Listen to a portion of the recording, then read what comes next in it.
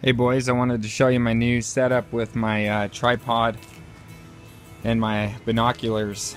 So on the back end here I got a sweet little uh, iPhone adapter. It's called HookUpz.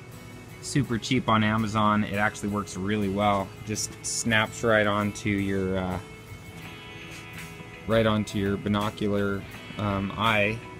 One of the eyes there. It grips on really tight and it fits good zooms in nice, works perfect. And then uh, these are my 10 by 42s. This is Oculus brand. It's the um, Bass Pro Shops uh, brand.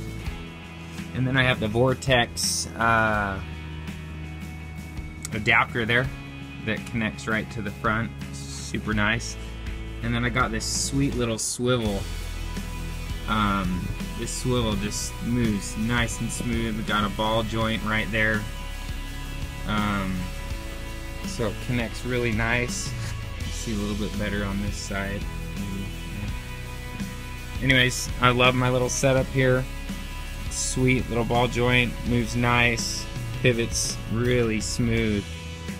And then uh, my nice little tripod stand. So there it is in all its glory.